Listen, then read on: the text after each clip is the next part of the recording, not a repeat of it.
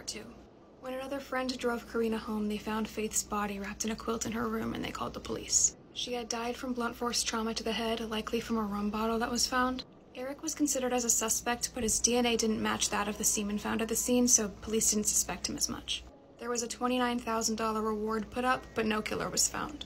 A year later, in September 2013, local police requested aid from the North Carolina State Bureau of Investigation.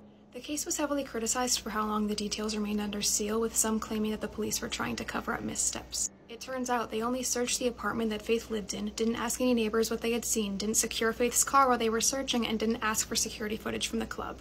The records and autopsy were unsealed for the public in 2014. There was also a note left beside the body that read, I'm not stupid, bitch jealous. There are theories that it was a red herring or that it was supposed to read, I'm not jealous, stupid bitch. There was also a suspicious butt dial where Karena and Eric were heard talking. They said, I think she's dying and do it anyway. Overall,